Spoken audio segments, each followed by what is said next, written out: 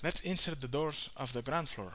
We're going to switch this to realistic display mode, show four viewports, and turn the layer where the ground floor is on. Now we can run the door command and we can see some insert options. First we're going to choose one door style. Door styles determine the features of doors, such as the opening type, the profile, or the number of leaves they have, and we will choose the hinged one. We can now choose a profile. There are a list of sizes available for this style, but we can always select a different one. So we're going to select this icon to measure the width of that door and select the horizontal alignment to snap it exactly to the end of the wall. So now, just by dragging the mouse cursor to one side of the wall or another, we can determine how this door will open. We can see now that the door has generated the opening in the wall, and this will always happen as long as the door detects the wall baseline. If we move or copy the door from one wall to another,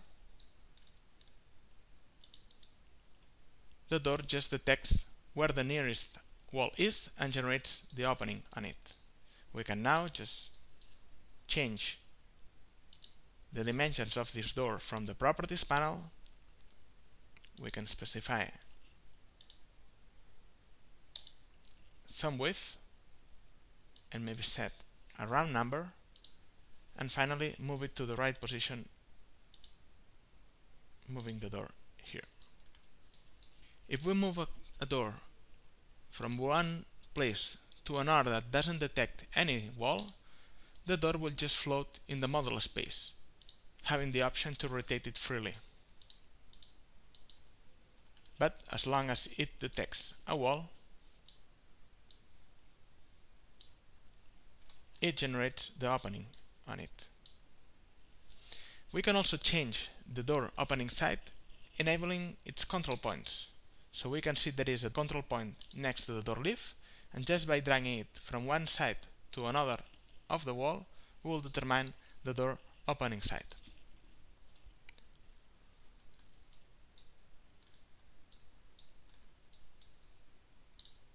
Also, we can see that the door has a 2D representation and a model representation. We can change that from the door properties by changing the max aperture and aperture values. So if we set a different value for the max aperture, we will see in 2D how much the door can open. If we do the same for the aperture value, we will see the leaf aperture in 3D. We'll set this back to 50% and just insert the rest of door leaves. So we will just copy this one all over the ground floor.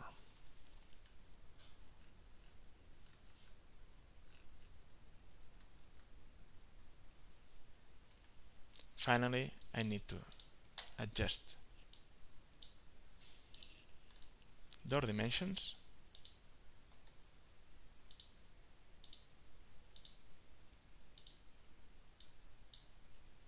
an opening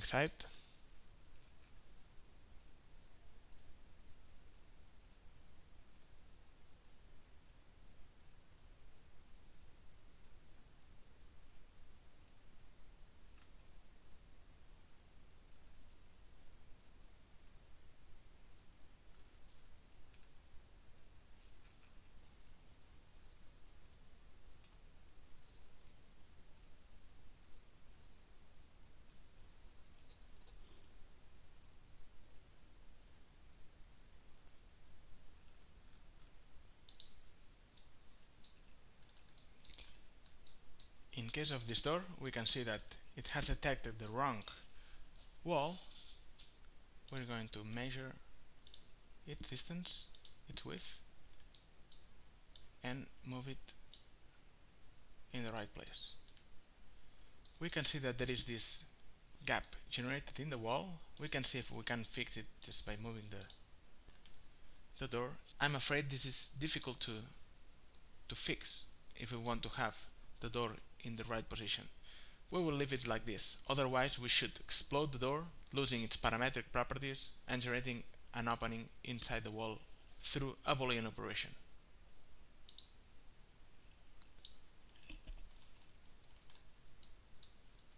I can see there is still one door missing here and we will use the mirror command for it.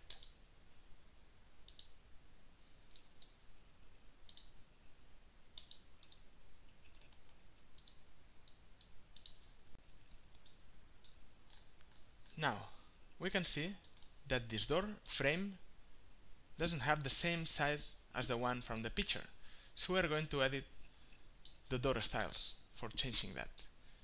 We can just open the door styles dialog doing right click on this icon that will show the full list of door styles or we can just select the object we want to edit here under the more button choose the style properties or from the tools toolbar do right click on this icon. Now we can select the frame component and from the geometry tab uncheck this option and set a different value like 0, 5 now we just need to select all these doors